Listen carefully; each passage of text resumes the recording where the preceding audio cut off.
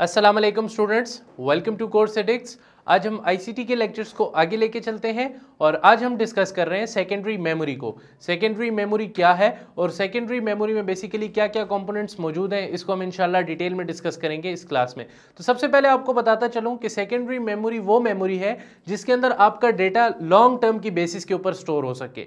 जैसे आप hard disk देख लें, आपकी ऑप्टिकल ड्राइव जिसे आप सीडी ड्राइव कहते हैं, उसे देख लें, आपकी जो बेसिकली फ्लॉपी डिस्क ड्राइव थी, अब तो नहीं है बेसिकली पहले होती थी, लेकिन ये भी आपके लिए परमानेंट बेसिस के ऊपर डेटा स्टोर करने के लिए काम आती थी। तो सेकेंडरी मेमोरी क्या है? आपकी जो कंप्यूटर की पावर सप्लाई है, यानी कि आपकी कंप्यूटर को अगर पावर मिलना बंद भी हो जाए, ठीक है तो तब भी इसके अंदर जो डेटा है, वो लॉन्ग टर्म की बेसिस के ऊपर आप स्टोर कर सकते हैं, ठीक ठीक है। लेट से अगर आपने एक डेटा को स्टोर किया और अगर आप एक साल बाद भी अपना कंप्यूटर लगाएँ तो जो डेटा आपने सेकेंडरी मेमोरी के ऊपर स्टोर किया होगा, वो उसी तरह वहाँ पे मौजूद होगा राइट अच्छा एक बात याद रखें, ये प्राइमरी मेमोरी से ज़रा कम एक्सपेंसिव होते हैं मतलब इसके अंदर जो स्पीड है, वो काफ़ी स्लो होती है डेटा रीड और राइट करने की, जैसे आप कुछ डेटा को कॉपी करते हैं या डेटा को पेस्ट करते हैं तो काफ़ी ज़्यादा स्लो होता है डेटा कॉपी इसी वजह से क्यों? क्योंकि ये इसमें कैपेसिटी ज़रा ज़्यादा होती है तो बेसिकली डेटा को रीड राइट करने में टाइम लगता है, ठीक है? और ये रैम और रोम से काफ़ी ज़्यादा कम एक्सपेंसिव होते हैं, ठीक है? अब हम डिस्कस कर लेते हैं सेकेंडरी मेमोरी कौन कौन सी है हमारे पास? पहले हमारे पास क्या थी? एक फ्लॉपी डिस्क थी, जिसको बेसिकली मतलब एटीज़ या आप कह लें सेवेंटीज़ के ज़माने में यूज़ किया जाता था। Four M B five M B से ज़्यादा कैपेसिटी इसकी नहीं होती थी। आजकल के दौर में तो ये मुकम्मल तौर पे ख़त्म हो चुकी है। इसको प्रॉपरली एक केसिंग में रखा जाता था और इसके ऊपर एक फैब्रिक की कोटिंग भी मौजूद होती थी। चाहे आपकी जो ये ये जो फ्लॉपी डिस्क के अंदर मुकम्मल डिस्क मौजूद हैं इनके अंदर जो डेटा मौजूद है वो करप्ट ना हो अगर इसके ऊपर डस्ट लगे राइट इसके बाद हम डिस्कस कर लेते हैं ऑप्टिकल डिस्क ड्राइव को। ऑप्टिकल डिस्क ड्राइव जो है आजकल इसका भी इस्तेमाल बहुत ज़्यादा कम हो चुका है। इनफैक्ट आप अगर देखें तो आजकल के दौर में लैपटॉप्स में जो सीडी ड्राइव्स मौजूद हैं मतलब अगर ए, एक सी डी ड्राइव्स जो होती थी आपको पता होगा वो भी अब आना ख़त्म हो चुकी हैं। क्यों? क्योंकि इसका भी इस्तेमाल जो है वो तकरीबन फाइव टू टेन परसेंट रह चुका है। दुनिया के अंदर राइट तो बेसिकली टेक्नोलॉजी जो है वो आगे की तरफ़ रिवॉल्व कर रही है ताकि डेटा की रीड राइट स्पीड को ज़्यादा किया जा सके। इन डिवाइसेस के ऊपर रहते हुए वो तमाम तक चीज़ें पॉसिबल नहीं थी। तो ऑप्टिकल डिस्क ड्राइव के अंदर अगर आप गौर करें क्या होता था कि आपको एक लेज़र टाइप का एक बीम नज़र आ रहा होता था और सी ड्राइव के ऊपर, ये स्क्रीन के ऊपर आपको जो पिक्चर नज़र आ रही है, देखें, इसके ये ये जो राउंड सर्कल होता था, इसके गिर्द एक एक सर्कल और मौजूद होता था, ठीक है?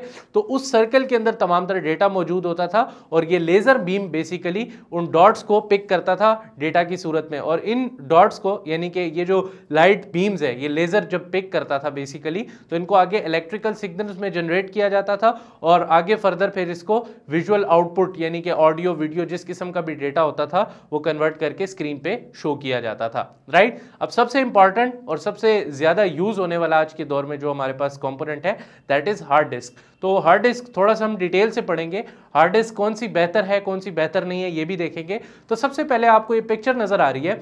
ये आपकी हार्ड डिस्क है, ठीक है? और इसके अंदर ये जो गोल बेसिकली आपको रिम नज़र आ रहा है, इसके अंदर तमाम तरह डेटा मौजूद होता है। और आपको देखिए ये पिन एक नज़र आ रही होगी राइट तो ये पिन क्या करती है बेसिकली ये पिन आपके डेटा को रीड करती है, ठीक है? अब मिसाल के तौर पे देखिए ऑपरेटिंग सिस्टम जो है ना, वो आपकी लॉजिकल ड्राइव्स बना देता है। क्योंकि अगर आप फिजिकली देखें तो ये तो जस्ट एक प्लेट है, जिसके अंदर तमाम तरह डेटा मौजूद है, ठीक है? तो आपका ऑपरेटिंग सिस्टम क्या करता है? लॉजिकल ड्राइव बना देता है। कोई ड्राइव डी है ई e है सी है ऐसे ही है ना?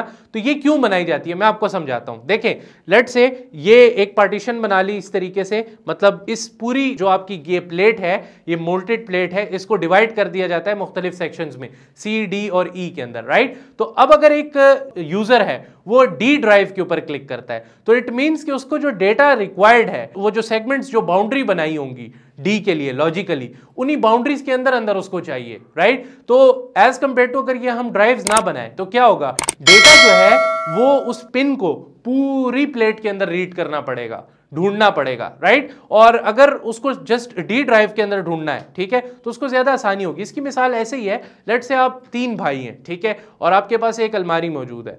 ठीक है? और उसके अंदर कोई डिविजन्स नहीं बनी हुई, कोई सेक्शन मौजूद नहीं है। तो अगर तमाम तर भाइयों ने अपने कपड़े जो हैं मतलब मिक्सअप करके रखे हैं तो अगर आपको स्पेसिफिक एक कपड़ा चाहिए तो आपको वो निकालने में काफ़ी ज़्यादा मुश्किल होगी। काफ़ी ज़्यादा डिफिकल्टीज आपको फेस करनी पड़ेंगी।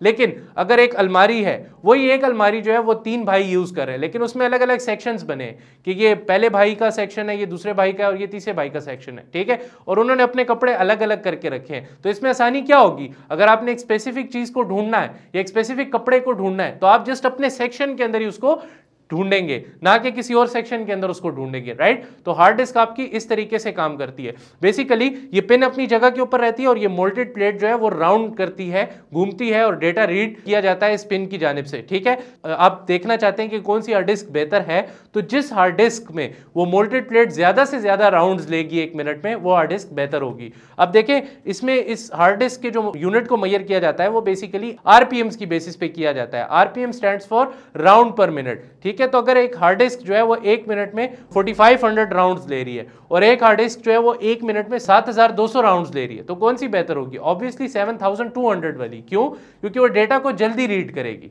ठीक है, उसमें वो जो स्पीड है बेसिकली कंपोनेंट की घूमने की जो स्पीड है, यानी कि वो जो माउंटेड प्लेट है, उसकी घूमने की स्पीड ज़्यादा है तो डेटा आपको जल्दी रिट्रीव होगा राइट तो जिसकी आरपीएम स्पीड ज़्यादा होगी, वो हार्ड डिस्क बेहतर होगी। I hope so secondary memory आपको क्लियर हो गया होगा। इंशाल्लाह नेक्स्ट क्लास में अगले लेक्चर के साथ मुलाकात करते हैं। तब तक के लिए स्टेट यून अल्लाह हाफिज़।